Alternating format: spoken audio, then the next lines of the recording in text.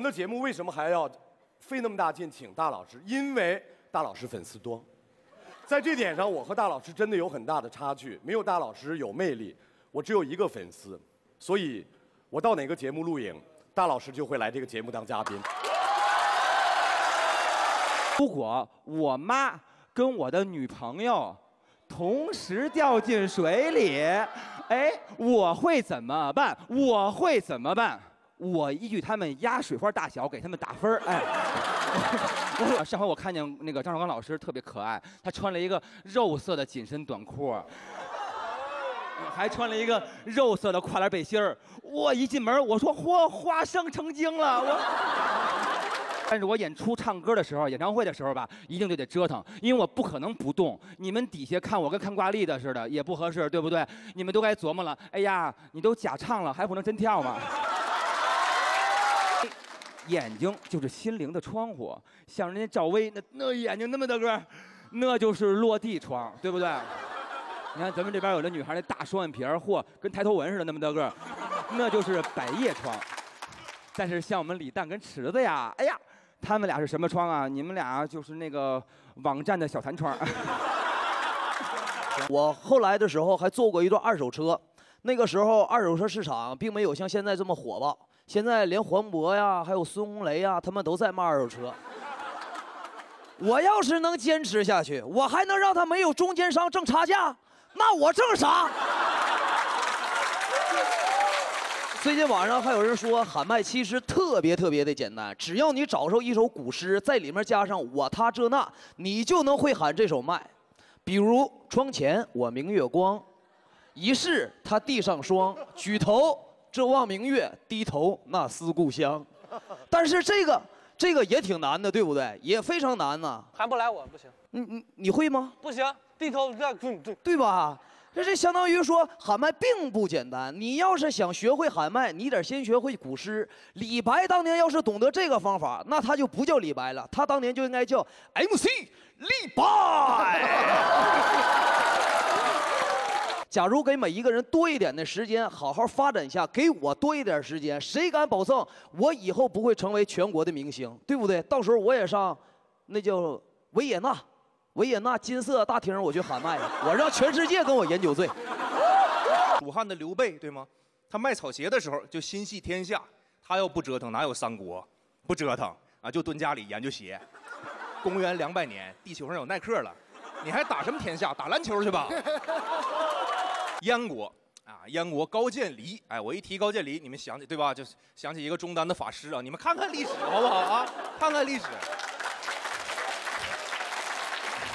燕国啊，高渐离是吗？啊，多了不起呀！啊，易水与太子丹宋荆轲，高渐离这边击筑啊，就是演奏乐器。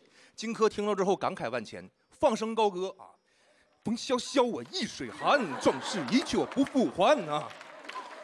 啊，就哎对，听完之后呢，哎，没有，就就两句词儿，你看看历史好不好？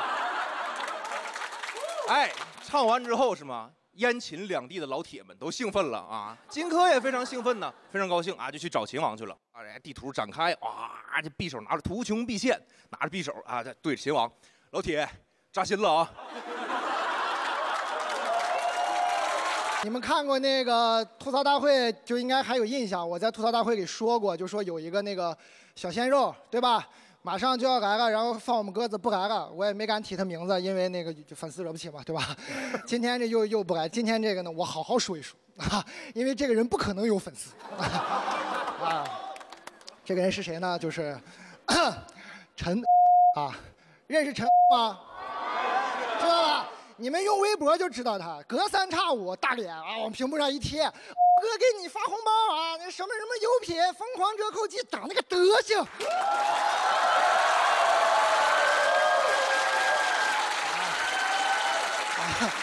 啊，然后他就就就就这么个人，然后说不来，你知道为什么不来吗？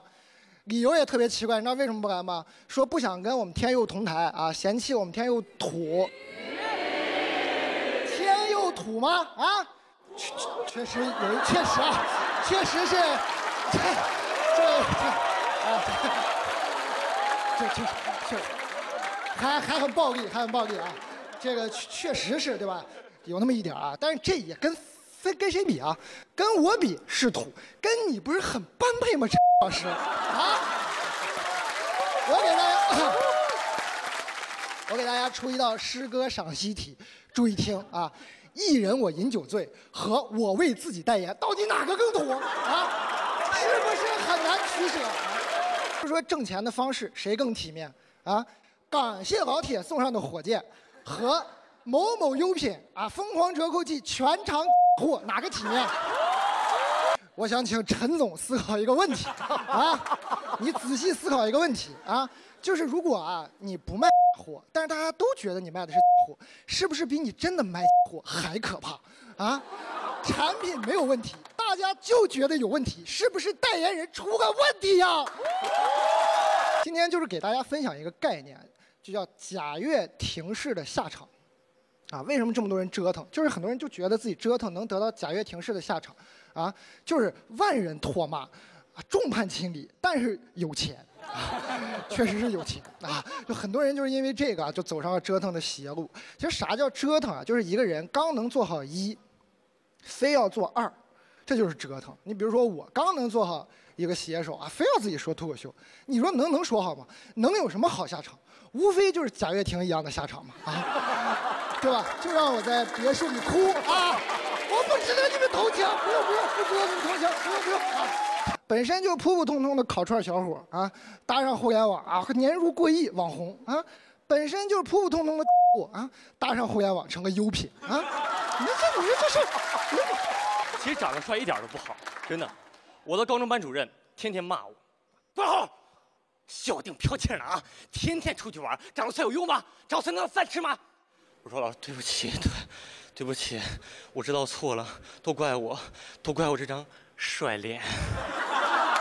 有一位古人说的特别好，剖析爱情的啊，戎马一生为了谁？啊，能爱几回是几回。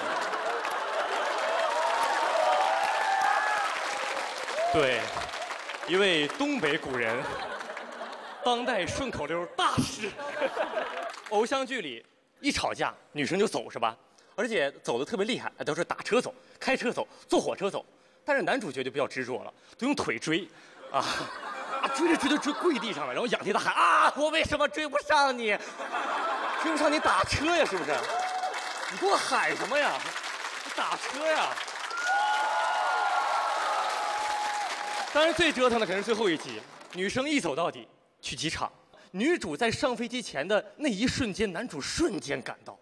是吧？我特别纳闷，难道男主他不用买飞机票的吗？他不用过安检的吗？是吧？一到安检口，先生您好，请出示一下你的身份证还有那个登机牌你敢拦我，小伙子，我可是偶像剧男主角，你知道？你看我这张帅脸，您请您请您请您请您。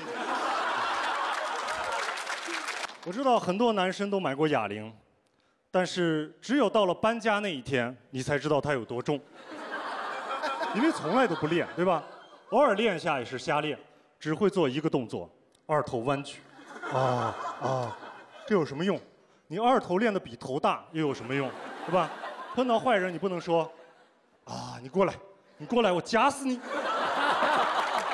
你们肯定见过那些穿着奇装异服跑马拉松的，是吧？穿着护士服的，跑了十分钟就不行了，又来两个护士，直接担架抬走了。还有穿着西服跑的，西装革履拎个公文包，你也不知道他到底是在跑步，还是跑业务。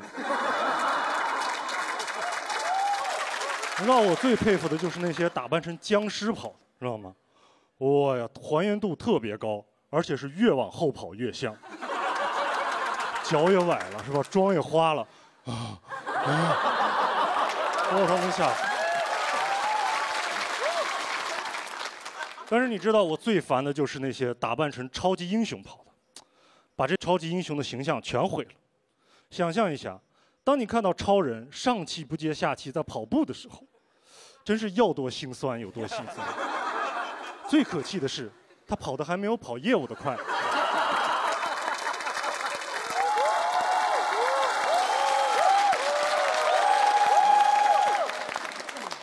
还有绿巨人，知道吗？我就没见过这么矮的巨人。跑不了多长时间，身上开始掉色儿。哎呀，你乍一看以为仙人掌成精了，而且跑着跑着就碰到了僵尸，啊开始植物大战僵尸。我这么红，为什么还要来给池子当队员呢？你说我比建国委屈多了。我跟你说这事儿，我玩摇滚那年还没有池子呢，那时候那时候池子还没开始挖呢，就那会儿他只能算一个什么叫概念。好多网友问我说你你那个说人家说那个在北京搞摇滚乐的都打过大老师，说你打打过没打过大老师？这个确实是我工作中的失误，就是这么多年，是对不起大家，对不起大家。这些衣服呢，可以捐给山区的朋友。但是你有没有想过，就是你买的那些衣服，山区的朋友能穿吗？你想象一下，人家山区两个老大爷在地里啊，一个就问说：“哎，你你这个衣服挺好看的，不错不错。”另外说：“对对对对，是挺好的，就是有一个问题，就是穿这个露背装锄地啊，真是有点晒得慌。”全国首档最权威脱口秀高手对战节目《脱口秀大会》，八月十一日起，每周五晚八点爆笑开。